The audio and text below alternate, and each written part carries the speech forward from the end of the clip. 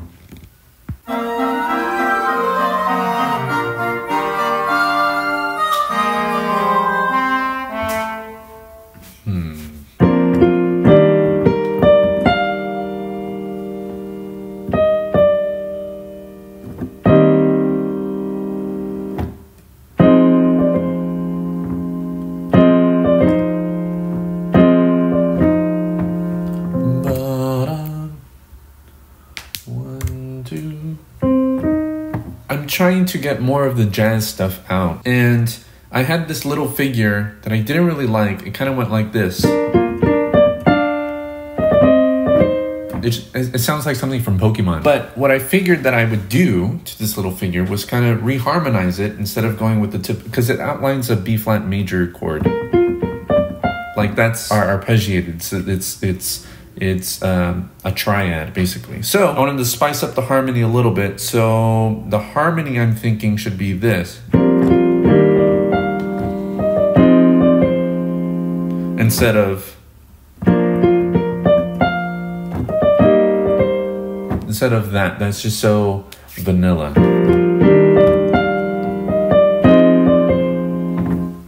So we'll see if that works in this context.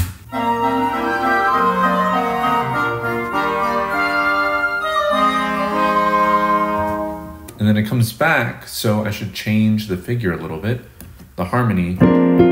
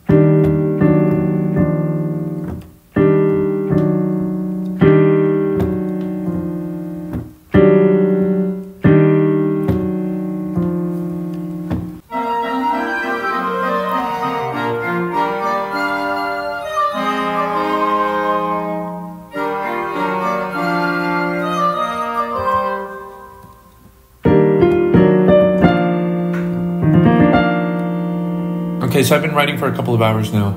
I'm going to go vote and then I'll come back and shoot a video. I'll be shooting this video that you see right here because it's already out by the time you see this.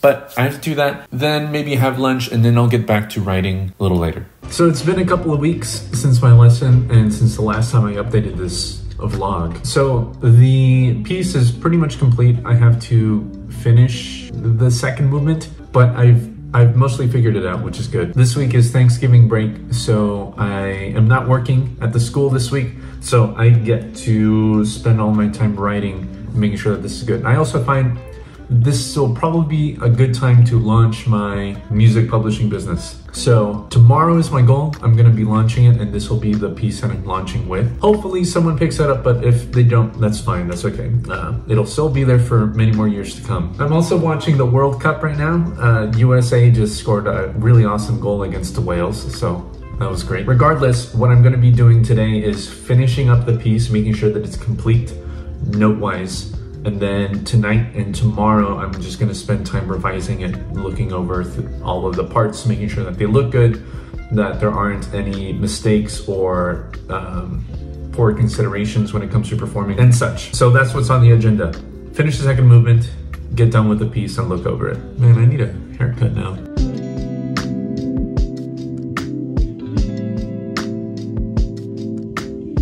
Okay, so this is very exciting. I have looked over the entire piece. It looks fine, good enough. I can always update it after the fact. I'm happy enough with it that I'm going to upload it. I'm going to put it up on my website and then I'm going to launch my music catalog for once and for all, finally. And voila, if you go to ernestocomposer.com slash catalog, you'll find my music catalog. I have a few pieces up there right now, but the latest one Snowfall Serenade is finally out. I'm so happy that I'm finally done with the piece. I started it when I was 16 years old, I think, and I've thought about making it into a, a proper piece every year since then. Finally, I did, and now it's out. Available for purchase for anybody who wants a cool woodwind sextet to play. So I've written this piece that was one minute and a half, close to two minutes, to a seven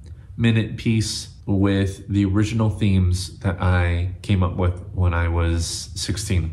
So that's cool. Again, check it out. Go on the website if you want to see what it's like, or maybe if you want to purchase it as well. I'm gonna, I think the next step, now that I've launched this publishing company, um, I'm planning on releasing a new piece every single month. So if you go to the website, you can sign up for the newsletter that will just tell you when uh, new pieces are, are coming out. So at least check it out. And if you run an ensemble, then consider buying it because it's it'll it'll be good. I really appreciate it. I hope you liked this inside look into the creation of this piece. And next month with a new piece coming out, I'll show you the sort of behind the scenes with the process of that one too. So until next time, you can follow me on Twitter, Instagram, and TikTok at Ernesto Composer. You can visit my Patreon at patreon.com slash Ernesto Composer. You can get access to templates, score study versions of my own published works, like Snowfall Serenade, uh, Score Study Sunday Hangouts every single month, and more goodies. You can visit my website at ernestocomposer.com. Thank you so very much for watching, and as always, take care.